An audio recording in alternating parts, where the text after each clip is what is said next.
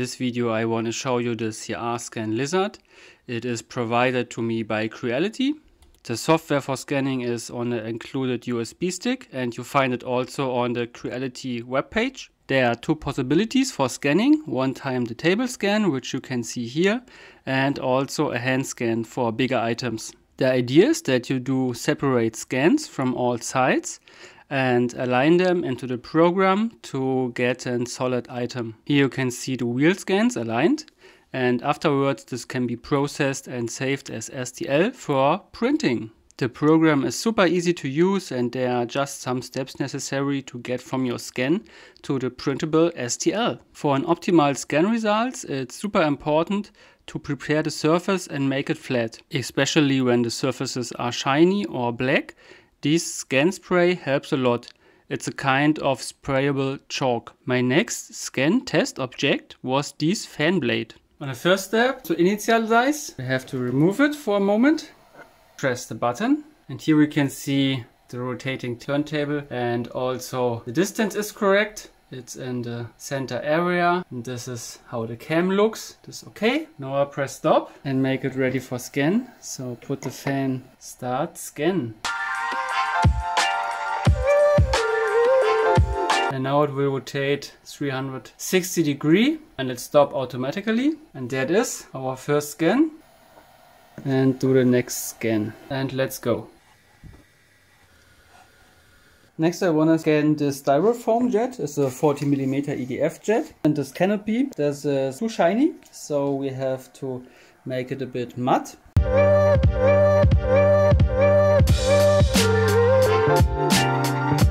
Here we got our flattening spray, 3D scan spray. It's like chalk, it's a very thin white film. You can see it on the canopy, like a little like little snowflakes.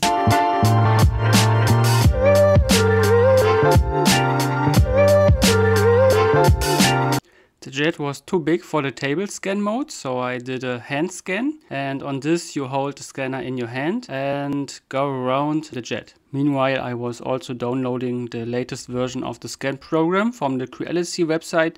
That's why it looks a bit different to the first scans.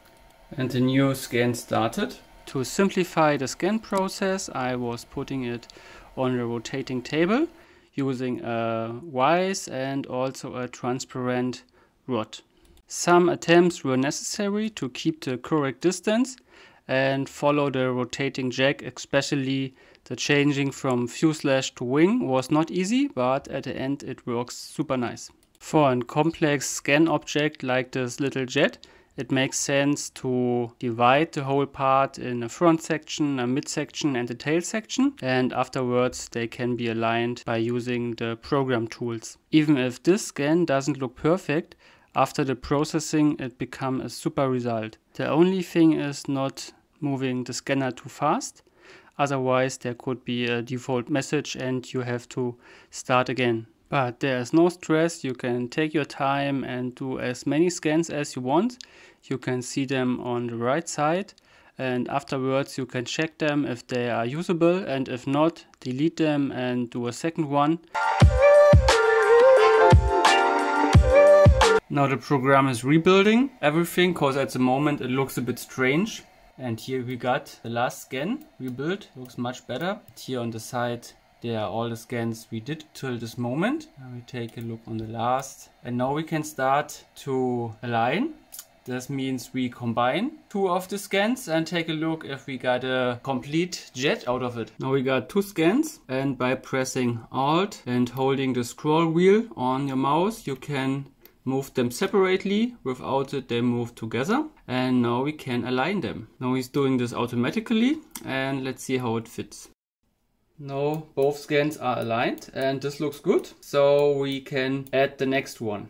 Here is more tail. You see on our first there is much of the tail is missing. Uh, we press Alt again. Especially on bigger parts it wouldn't be possible to scan them at once. So you scan them separately and later on you align them and then you get the complete model. and it fits. Looks much better now, nearly complete. We got, yeah, here's something missing on the wing and also here's a lot of black. I will do one scan more, especially here from the wing. Here is too much missing, we need. And then we can go to process. So now I did some more scans. Let's take a look at them. This one is always from the lower side from the fuselage. This is really cool that you can do as much scans as you want. And if something is not so good, then add a new one. Now we want just add this and go to align and let him work. Here we can see all the scans. The upper ones till 7 are already aligned and now the 8 is aligning too.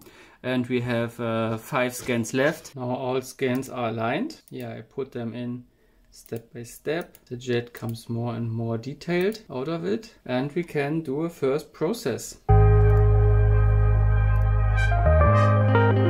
And here we got the ready processed jet. Looks not that bad. Surface is really nice, but there are some mistakes, especially on the wings where the scan was not perfect. And the lower side, yes, this is original because here were some holes inside. And here we can see rest of the servo horns. They have to be removed now. On the scanner software, the jet was saved as STL and imported to Mesh Mixer and here are a lot of tools to optimize the surface and remove some obstacles. Mesh Mixer is super easy to use and you can download it for free.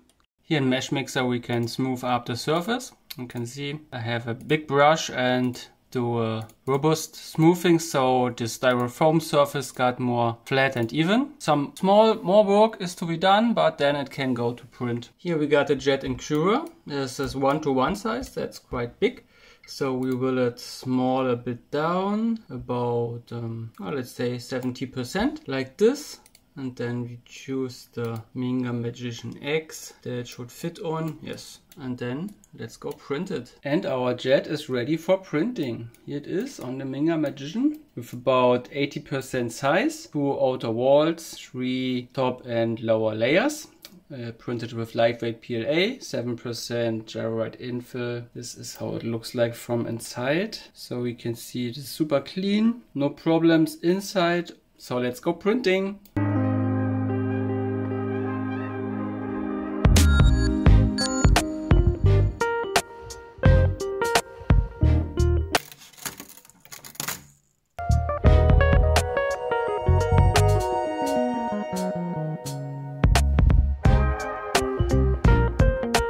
Here they are. The scanned one, 90% size, looks exactly the same. And I'm super happy with the with the surface. The application is quite perfect. And from this we will remove now the white dust. I'm using some paper cloth and water and then it can easily be removed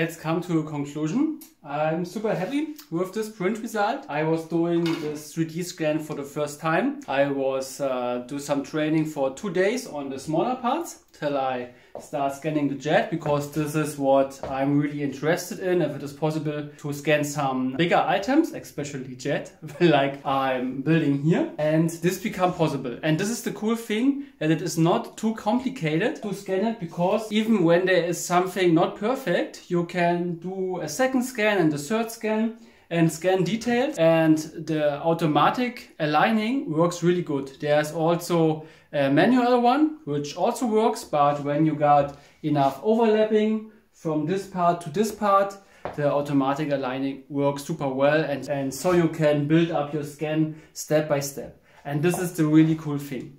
What I was doing here on the small jet, this is not the best surface it got, but it was the only jet in the size I got here. And nevertheless, with some editing in Mesh Mixer, which is a free program, I can show you here, you can easily download this as a freeware. And with some training, it's also easy to use you got wonderful results. And when you got a better original model, when, when this would have better quality, then you even do not need Mesh Mixer, then you can go immediately to, for instance, Cura and print your scan. So I would say thumbs up. This is really cool. You need some training, it needs some time. And I also recommend you this 3D scan spray. Important is that the surface of your item, what you like to scan, is not shiny. It should be flat. That's really important and not too dark. So um, especially when there are some transparent parts like the canopy on the jet, this has to be sprayed with the 3D scan spray and the rest also. This helps a lot to improve your results. And then when you got some of these transparent polyamide parts, they won't be scanned, so you don't have to re remove something afterwards. At first I was putting the jet just on this wooden block, but you can see it here. this was scanned together with the jet, so there is a lot more work afterwards. The mesh mixer. As better is your scan, as less work you have to do afterwards. So, and this is really handy. You can easily go around. You keep your distance and have an eye on your light. The light should come from all over, that there are not too much shadows and then there is there won't be any problems and you will get really good scan results. Also this turntable is uh, strong enough to rotate with this heavy metal wise here. So just be creative put your item on something transparent and start scanning. Have fun with it. All links to the scanner you will find in the video description. And i would say see you in the next video. Bye bye